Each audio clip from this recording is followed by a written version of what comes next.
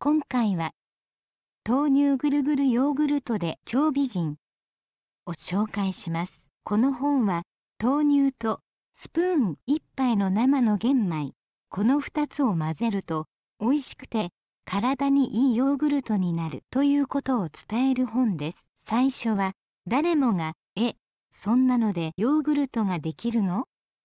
と思うのですがそれが本当に出来上がるのです。豆乳ぐるぐるヨーグルト略して TGG ヨーグルト作家佐藤美鶴郎さんが命名。ブログで紹介したのがきっかけであれよあれよ言う間に Facebook の同好会は4000人を超え密かなブームになっています。早速実践できます。シンプルなレシピ健康のために豆乳ヨーグルトを玄米の発酵で作りたくて購入してみました。シンプルなレシピと分かりやすい解説で即日実行できました。本のように未だ成功していませんが良い手応えです。これから何回か挑戦して作り方を習得したいです。入門編には分かりやすくておすすめしたい本です。以上。